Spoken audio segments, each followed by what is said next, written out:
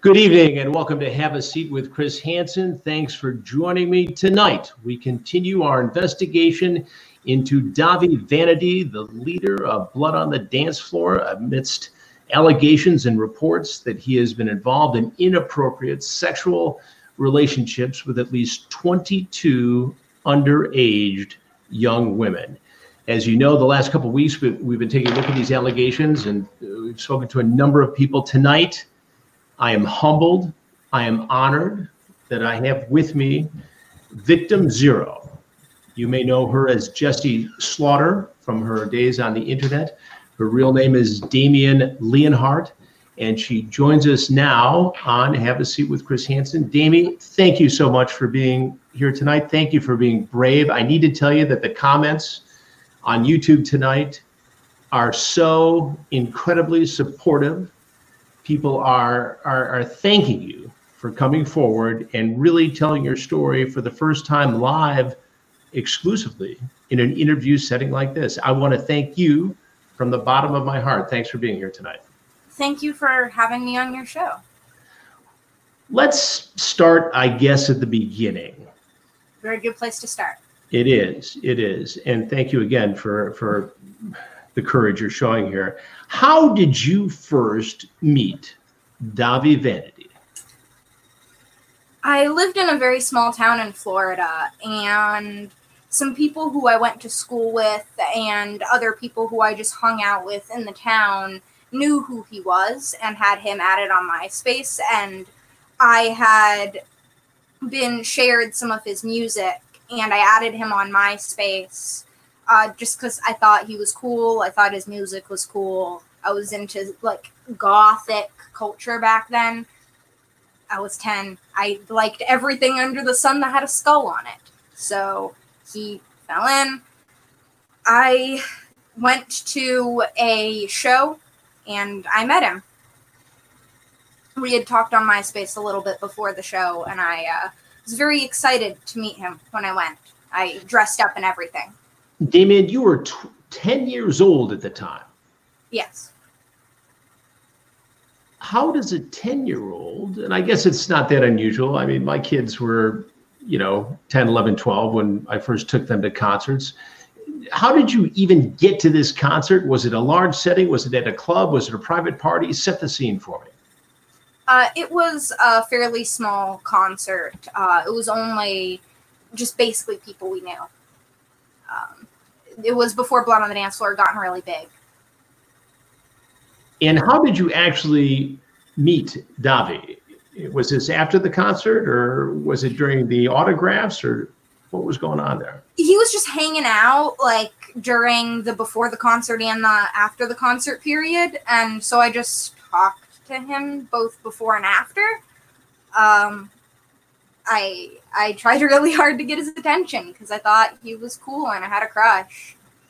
You saw him as a major celebrity. Yeah, I saw him as like a creative influence in the place I lived. And so I was like, yeah, I want to be with this dude who does cool hair and makes cool music and like is a model and stuff. And how did he treat you? What was his interest in you in the very beginning? He he would be like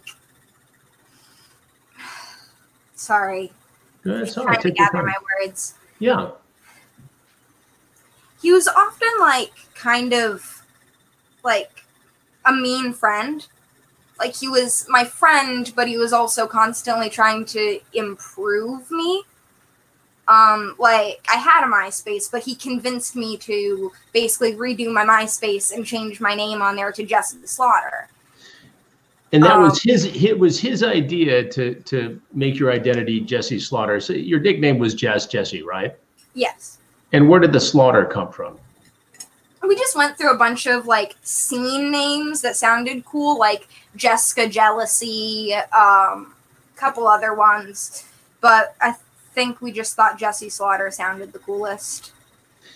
And what I mean, I guess at 10 years old, you really don't think, you know, about the future or long term. You live in the moment, but what did you think the relationship was at the time?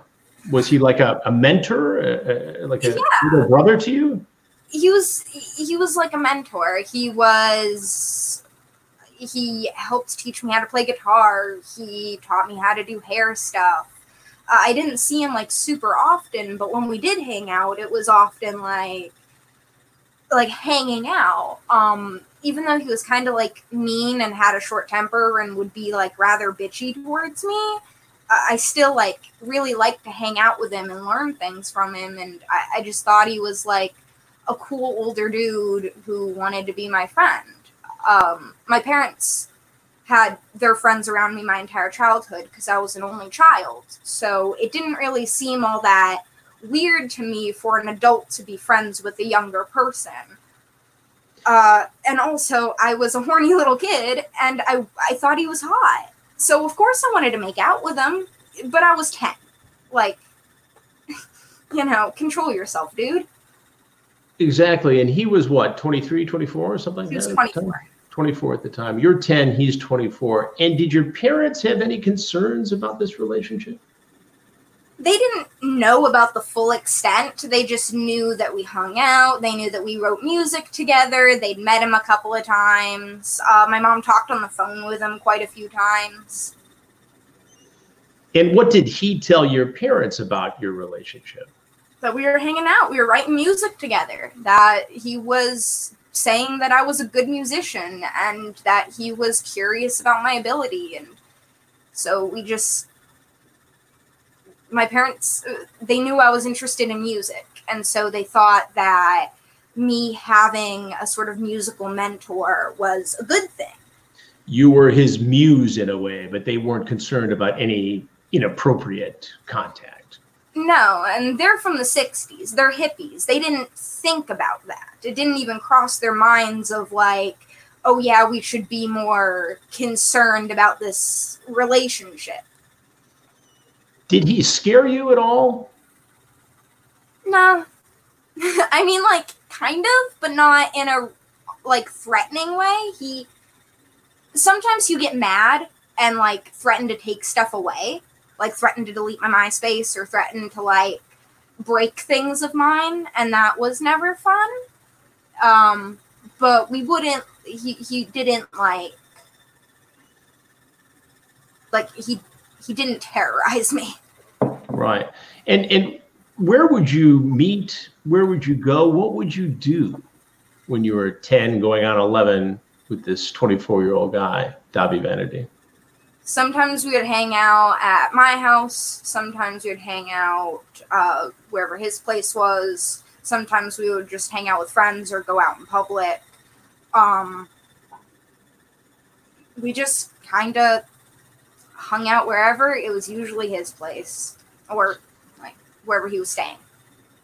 And right around this time, he was in hot water for allegedly having a relationship with an underage girl in Colorado. Yep. Uh, did, did, you yeah. know about this? Did your parents know about this? Was it a, a concern for anybody? It was. It was kind of a big deal.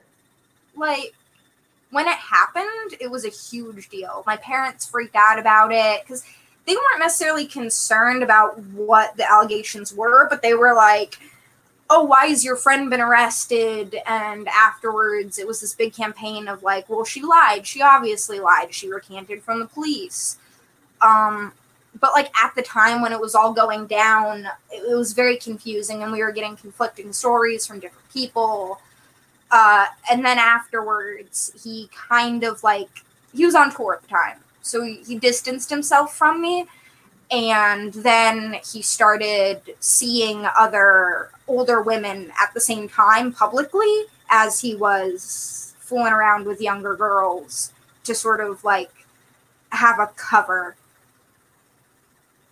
to make it look like he was in appropriate relationships. Did you ever ask him about the allegations in Colorado? No, I, I I didn't ask him about the the rest or anything. I asked him like why the band split up and what happened to Garrett and um like stuff like that. But I never went into detail about what he was arrested for. It kind of just seemed obvious, and it kind of just seemed like, well, shit. I'm glad he's not in prison, because uh, I was 11 and I was dating him, and I, I, I don't know. I wanted him to be okay. When did he take the relationship with you sexual? Pretty immediately. And I ask this question not to be insensitive, but because it fits an apparent pattern of similar acts. How did it start? What did he do? Um, I don't feel quite comfortable going into uh, extreme detail on the subject of the individual incidents, but uh, the beginning of that sort of thing, he he was very obsessed with like my mouth and putting his fingers in my mouth, and then like very soon wanted me to give him a blowjob, um, like pretty much immediately after meeting him. You're but, 10 or 11 years old. Yeah, yeah. I was a 10 year old and he fingered cake into my mouth and then wanted me to blow him in a bathroom. Like, it, it's awful. It blows my damn mind. I don't believe this. Like, my brain has trouble processing a lot of it because it feels horrifyingly unreal. It feels like this should never have happened. And yet, here I am with these memories, with this emotional baggage. It's. Ugh. I mean, I can't even imagine how you process that as a 10 or 11 year old kid no matter how sophisticated you are, no matter who your parents are, no matter what you know about music or how you dig this guy or whatever, you're Legit. 10 or 11 years old. Legit. I didn't know about sex. I didn't know how to give a blowjob at the time. I had to be instructed. It, it's like he taught me most of what the beginning of my sex ed was, and that's legitimately horrifying to think about.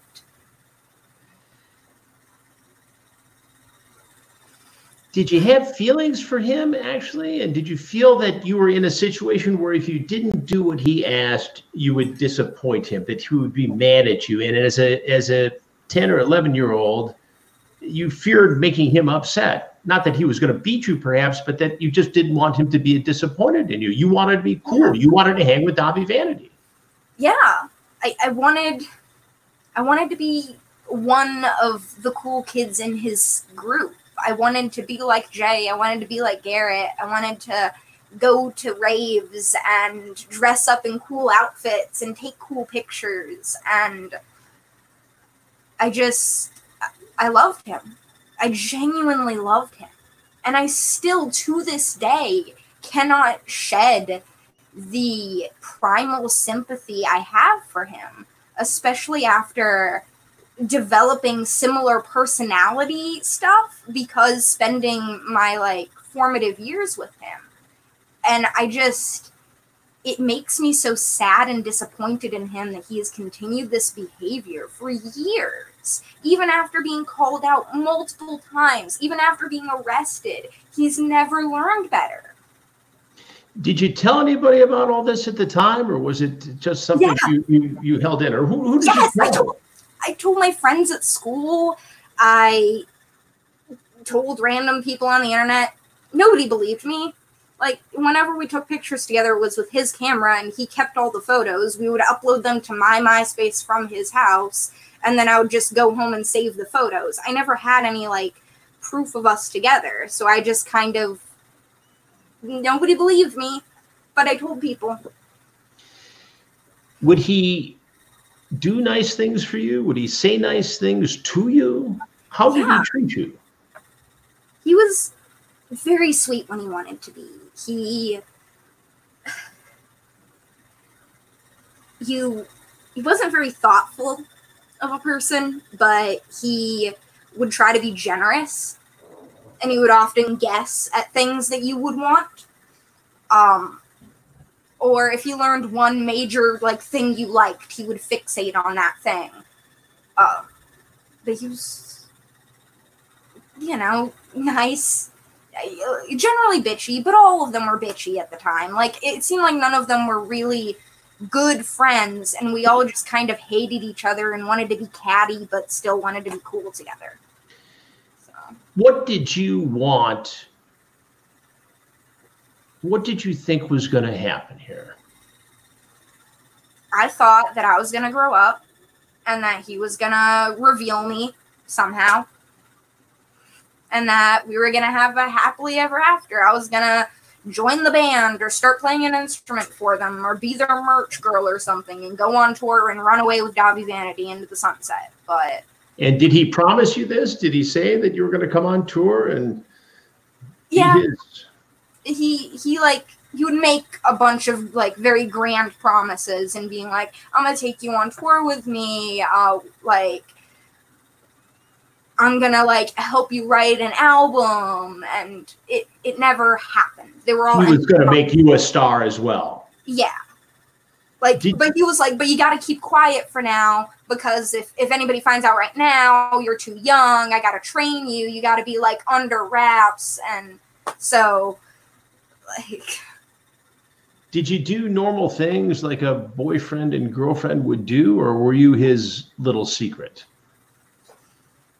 some of it seemed normal but now looking back i know it wasn't normal like we would go out and get something to eat um, but he would constantly be sort of playing off me as his like little cousin or little sibling or something he would just he, he was always really weird about it. How do you um, even process? how do you even process this as a as an eleven year old kid? I just thought it was the norm. I just thought like, well, in order for cool dude to like me, I got to be quiet about it until I'm old enough and like I knew it was wrong, but I also didn't care because we were all doing horrible things at the time, and so it just seemed to dissolve away into this well, we're all doing it scenario. Did he give you drugs? Did he give you alcohol? Did he ply you in any way? He attempted to give me drugs and alcohol, but I wasn't really into that. Um, I I just I've had um, issues with certain drugs since I was very young. Um, MDMA makes me insane. I have bipolar disorder and it sends me into an immediate manic episode and i learned that very quickly so it, it was just kind of one of those things where i was i didn't really i would take like sips of beer i didn't like beer i would take maybe like a shot of vodka every now and then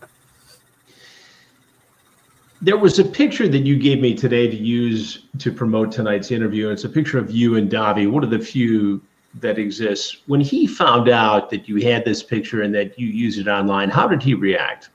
He was very angry at first. He was like, "How did you get this picture? Like, like how physically? He wanted to know how I got it."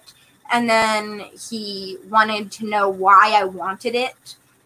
And I was like, because I want a picture with you. Like, I idolize you, dude. And she was like, okay, whatever. I, I get it, whatever. Just keep being quiet. Don't make a big deal out of it. At least it's only that picture. Um, and then he just kind of like blew it off, like it wasn't a thing anymore. I put it as my profile picture on Facebook for Christ's sakes, because I was just so proud. You were with this celebrity. You were his girl. Yeah, I was. I was so proud.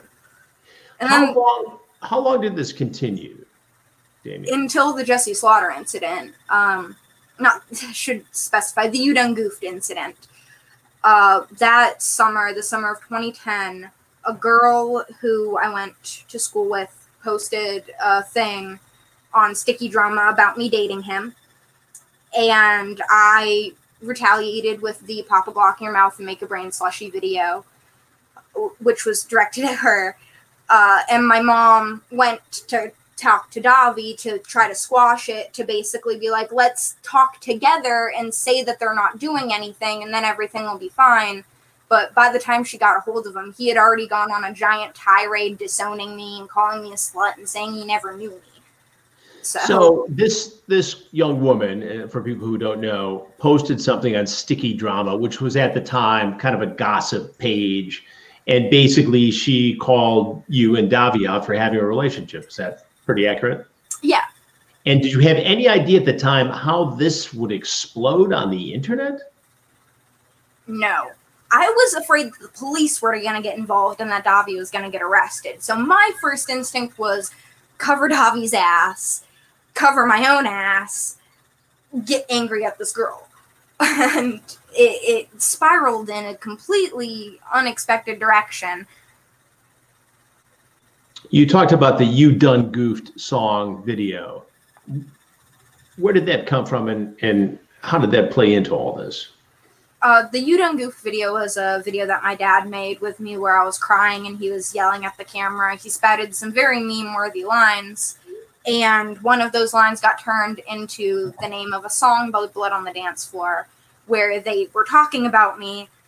And uh, some of the lyrics include My name and reputation won't be the target of a slut. I'll be on top of the world and you'll be cutting yourself fucked. Um, also, and look at me, I'm beautiful, not a suspect of rape. Don't you know I'm fucking boss? Read the fucking nameplate. Lyrical gold. Um, But and so you're there. You are there. You are at 11 years old with this song and it was video. released on my 12th birthday. He released it on my birthday, knowing it was my birthday. On your 12th birthday, this video, this song with the lyrics you just recited, was released. Basically, just excoriating mm-hmm. accusing you of being a slut and and everything else. Yep. So outraging your father that he turns to the internet in a video. This actually the thing happened before the song was released. Right. But he knew this was brewing and was trying to protect his daughter. Yes. And attack back at uh, uh, the sticky drama situation. That leads into this horribly embarrassing video targeting you. Suddenly, at 12 years old, you are an internet sensation for all the wrong reasons. Yeah. How do you even deal with that at 12 years old? I didn't. I developed maladaptive dreaming daydreaming disorder. I secluded myself to the internet. I had a series of very tumultuous, tumultuous, rocky relationships. Tumultuous, what? Uh, and I, I, I never recovered, but I never grew in the first place. And then on top of all of this, his quote unquote fan club, the Slash Gash Terror Crew, mm-hmm. mauls you viciously in virtually every way imaginable. Yeah. What, what did they do? What did this group do to you? How would you best explain that? basically sent hordes of fans to send me hate mail, instructed them to get in on the 4chan raids that were going against me, that were sending things like pizzas and just random junk mail to my house. Um, things like telling them to tell me to go kill myself, just basically sending them in a massive mob against me. How bad did it get for you? psychologically, emotionally? I attempted suicide for the first time on my 12th birthday. On your 12th birthday? I listened to that song and then I tried to overdose. Um, yeah. That was. I don't know. I don't really remember. But, uh, Never got caught. Woke up. Everything was fine. Continued on life as if it was fine. Did you ever talk to Dahvie again after that? No. So from the age of 10 to 12, you were with on and off Dahvie Vanity, hoping that you'd be his his woman, his girl. Yeah. what do you think you meant to him? Now looking back on it, I realize it wasn't important at all. Because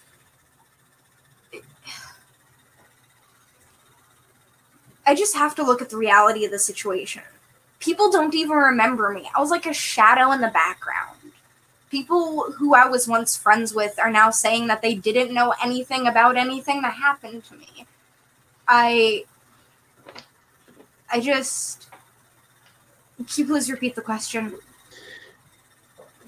What do you think you meant to Dahvie Vanity? In reality, he meant the world to you. You devoted two years of your young, impressionable adolescent life. Thank you. Sorry, sometimes when I speak, I know this is this is this is this is raw emotional territory. You have my undying respect for even going here with me tonight. So there's no apology necessary. Uh, I just now looking back, I realized that I was just another girl he fucked. I was just another girl he lied to. I was just another girl he used. He he didn't actually care. He wanted my lyrics. He wanted my body. That was it. He he didn't even care about me enough to like uh, try to cover this up. He just wanted he just wanted me gone. I hope I hope you realize that none of this is your fault. And I mean that all in all sincerity. This is not your fault. You were 10, 11, and 12 years old. Uh, saying I'm sorry this happened to you is an understatement. I'm not just a reporter, but I'm a parent as well. I mean, I, I, I, I'm just crushed here. I can't imagine what this was like for you, what it was like for your father, what it was like for your mother. No matter what the relationship between parent and child, this had to kill your dad and your mom. Yeah, they weren't fond of it. My mom still. I had a conversation with her the other day where she got very heated about Dahvie and especially about his lyric taking because that's a habit of his. It's yeah. My dad got very mad. Lyrics. I can only imagine. What toll did this take on your family? What did Dahvie Vanity take away from your family? I mean, basically everything that we every sense of security that we had had for ourselves before the incident kind of dissolved. We were suddenly public figures. We were under scrutiny. My dad was constantly under investigation for things, most of them not true. He was investigation for child molestation, which he never did. He was investigated for drugging me, which he never did. Eventually, I ended up in foster care after we got in a fight. Uh, I don't even remember what over at this point. Uh, but yeah, it, it had a lasting. Your dad sadly passed away. Indeed. Your mom? How is your relationship with your mom today? Uh, I'm distant with her, but we still talk occasionally. Come to find out that some 22 young women are now coming forward, and we've had some of the people on this show telling virtually identical stories to yours. Yeah. What does that say to you? What does that say to you about Dahvie Vanity? He's he doesn't learn. He has this pattern of behavior and he is unwilling to accept any form of change in his life. Even when presented with his Uh, what would be a pedophile's dream scenario of you get this one thing for the rest of your life and their parent is trying to protect you he still blows it like he's a dumbass he's he just he doesn't know when to quit and it's sad and it makes me sad Because, like, dude, you're better than that. At least I used to think you were better than that, but you've proven me wrong. Who is Dahvie Vanity? A sad, sad little boy who doesn't know when to realize he has mental health issues that hurt other people. You're now 21 years old. What do you want people to know? How do you cope with this? What helps you get through your days today? Honesty. In the end of the day, you can only speak the truth that you know. Even if even if the world doesn't necessarily agree with your reality, you experienced what you experienced and that is your own to keep and to cherish and to hate. But the only thing you can do is just continue being honest, even if even if it's uncomfortable, because it, it just it eats away like acid inside you when you're quiet. Especially knowing he went and did so many things afterwards. Do you think he's still out there doing this to other girls, other young women? Certainly.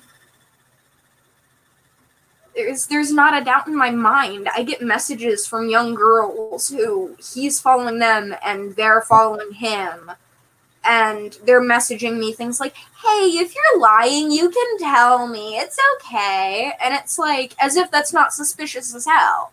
As, like, yeah. This is not easy for you to talk about, as brave as you're being and as important as it is. We were touch and go tonight, right up until airtime.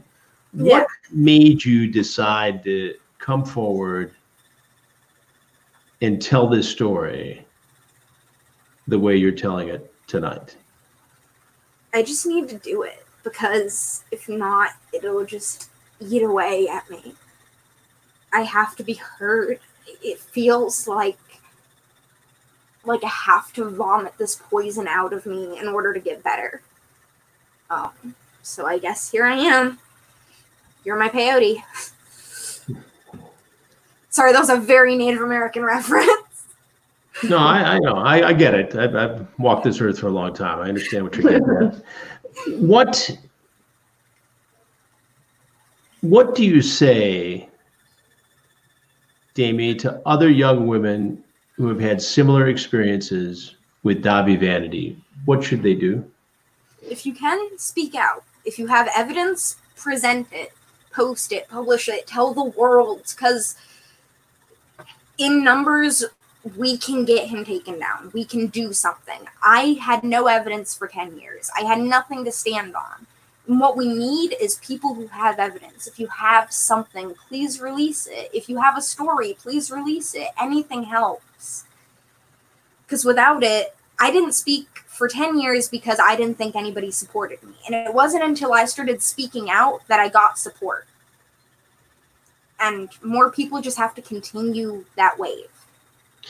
He's been investigated at least twice in Ellis County, Florida, once in Colorado for this kind of activity. He skated both times because either the alleged victim changed the story, he's alluded uh, to financial payments uh, in some videos and some uh, digital appearances. Do you think he's bought his way Yeah, out of this? I got one of those. Dang. you okay?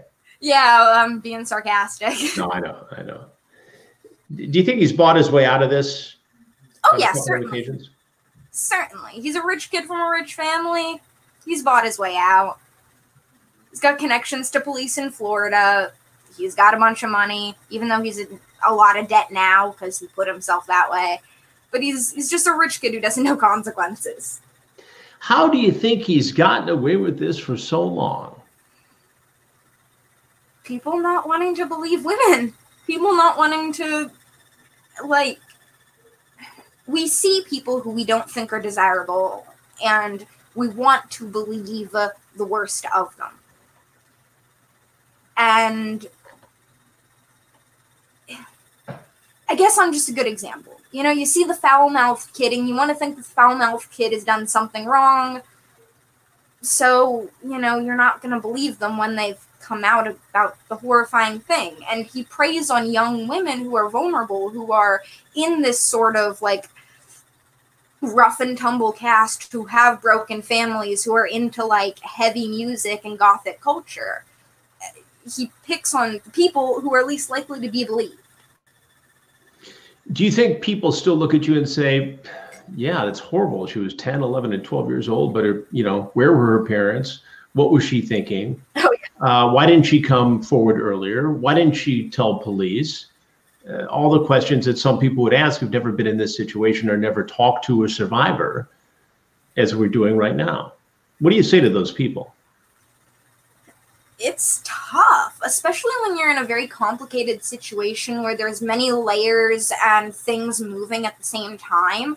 Like during the you done goofed incident, I did talk to police about Dahvie, but they didn't want to hear me. They were so focused on the allegations against my father that they just skated over Dahvie. And that happens to a lot of victims where their stories are either swept under the rug or there's just like just forgotten about in the chaos. When was the last time you actually spoke to Dahvie? Like late June, early July of 2010. 2010. So almost 10 years.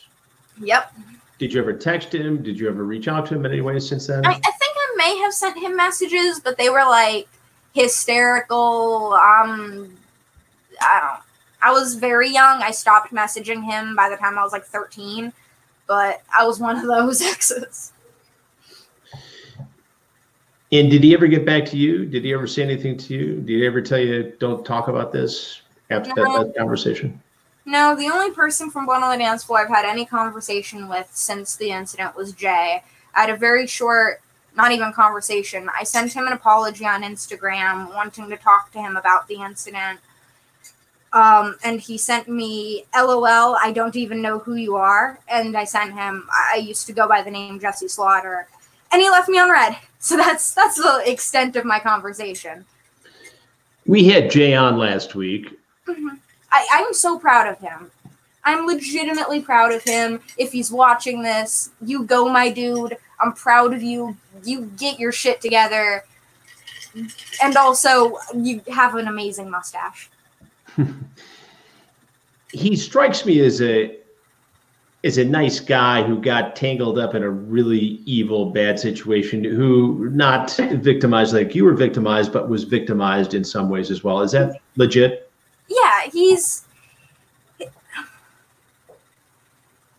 Though my contact with him is strained and he has been rather catty towards me, um, I have no harsh feelings against him, and I genuinely believe that he he got in some bad shit. He was like 16 when he met Dahvie, 17. He was like barely 18 when he joined Blood on the Dance Floor. I remember when he joined. It, it's he he was taken advantage of. He was taken on a ride. It's it's harsh. It fucking sucks. I feel for the boy. What did Dahvie Vanity take away from you, Damie? The sense of social stability I had in my life, and then slowly eroded away at every other sense of stability I had. Not even because of his direct actions, but just the snowball effect of everything. But as a human being, a young person, 21 years old, in terms of your relationships with people. What has this done to you? I find myself doing a lot of his similar behaviors, not as not pedophilia thing, Jesus Christ, uh, but like the the aggression, the short temperedness, the emotional instability, and and basically being a child and needing a caretaker. Like, I.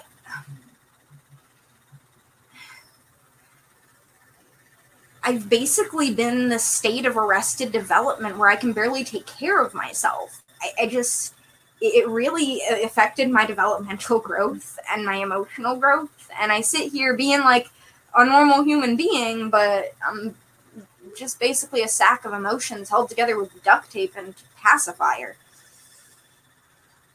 How do you get by? How do you do it? I don't know.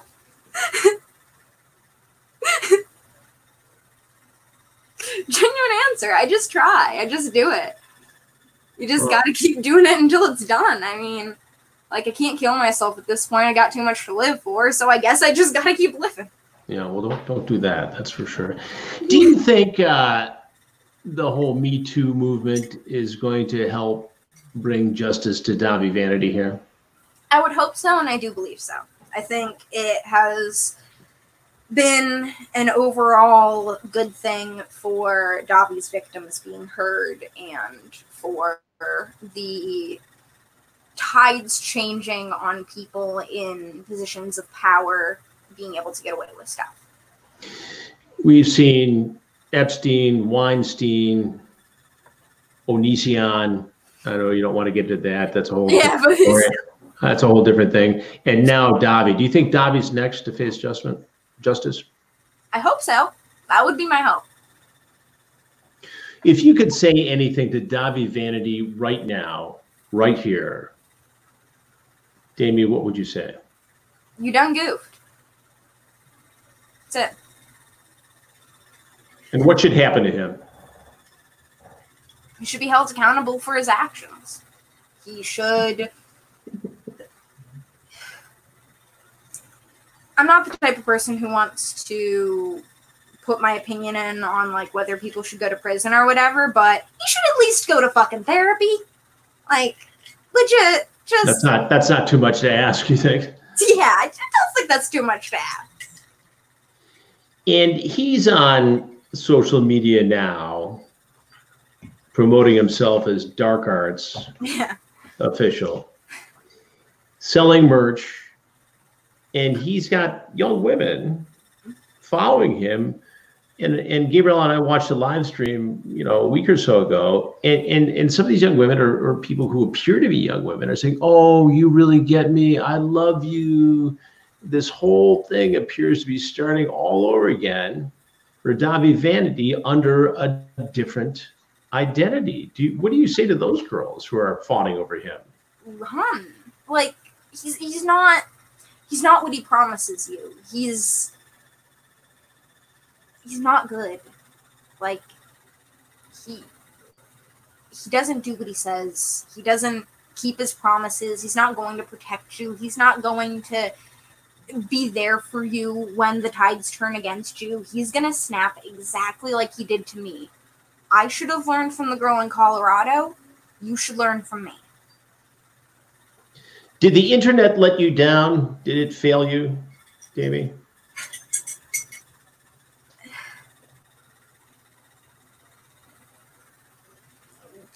In the same way that society fails most people, yeah. I mean, it, it's just this larger machine of like disbelief, and I feel like it's it's all intertwined, man.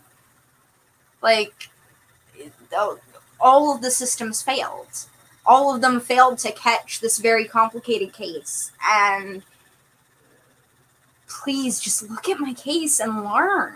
Learn about intersectionality. Learn about like the effects of what different moving gears. It's it's just things are Um, complicated and we got to deal with that. A lot of people have watched this case very closely. Um, it's become uh, almost like a cottage industry. People who paid attention to the Dahvie Vanity and, and to you back from the Jessi Slaughter days.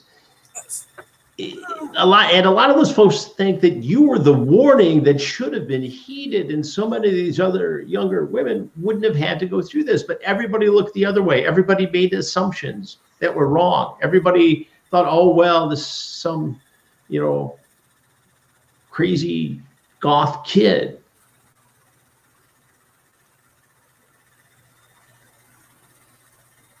what's it going to take so people don't miss this warning who knows? People walk in their continued circles and do their continued behaviors until they choose to look up. You just have to have the mind to choose to look up and see what's around you. Do you think Jesus Torres is watching tonight, Dahvie Vanity? Probably. And if you could look him in the eye, if he is watching tonight, what do you say to him?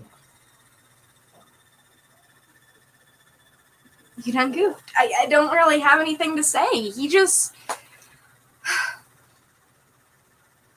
You disappointed me, man. I loved you when you let me down. I trusted you when you let me down. What the fuck, dude?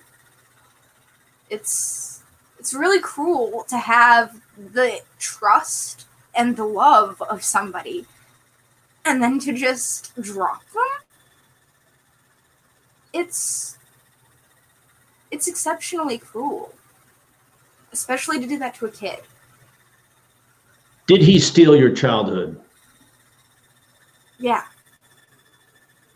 when i you... first met him i was playing with dolls and i slept with a sippy cup when i it... after the end i was basically an adult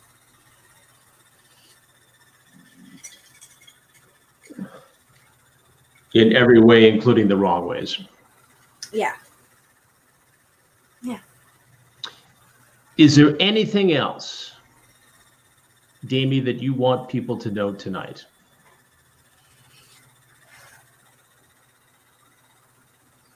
Please be alert and aware and just keep your eyes open. Things look for the small cracks. There's always small cracks. If something seems weird, it's probably weird. Always keep looking. For years, people just kind of like glazed over the incident and thought it was a bunch of weird coincidence. Please. All right.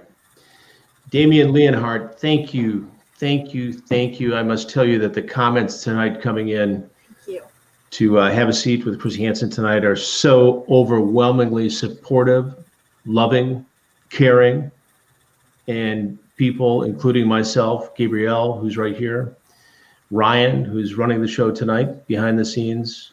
Uh, wish you only the best. Thank you for being brave enough to come on tonight, and we will as I mentioned before the show, keep in contact. We will have you back anytime you want. We will continue to investigate, and this case is far from over. Thank you from the bottom of my heart.